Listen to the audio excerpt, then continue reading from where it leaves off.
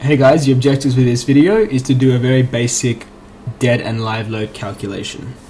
So we're going to be given a section from a general office. So say we have this slab and a beam like this. Okay.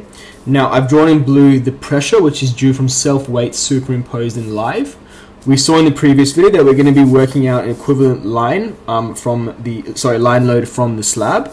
So we're going to get this pressure from this slab and work out an equivalent line load. And then also we're going to be working out the line load from the beam, okay? Just to show you plan view, it's 1200 by 600. This is in millimeters.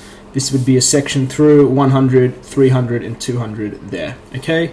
We're given the density of concrete as 2500 kilograms per meter cubed, and we're told that the superimposed dead load is 1 kPa. Okay, so the first thing we're going to deal with is the slab. Now, we're going to first work out the dead load G in the slab.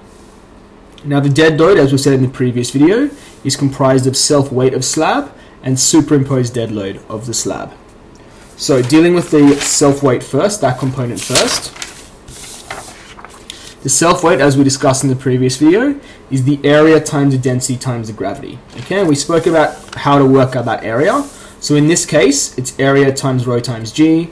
The area is going to be 0.1 by 0.6. I'm working in meters and kilo, uh, meters and uh, kilograms throughout this video. Okay, so we want to go from an area load, a pressure in blue, to a line load in red. So the dimensions we multiply by, as I said, we exclude the dimension which is parallel to the line load. So in this case, the length 1200 we want to exclude. Okay, we're going to multiply by 100 and 600 there, um, and that will give us the line load. Okay, so you can see it's 0.1 by 0.6.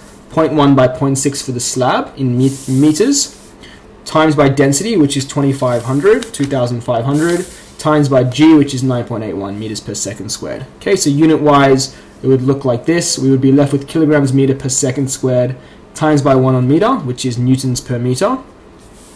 So working this out, we have 0.1 by 0.6 by 2500 by 9.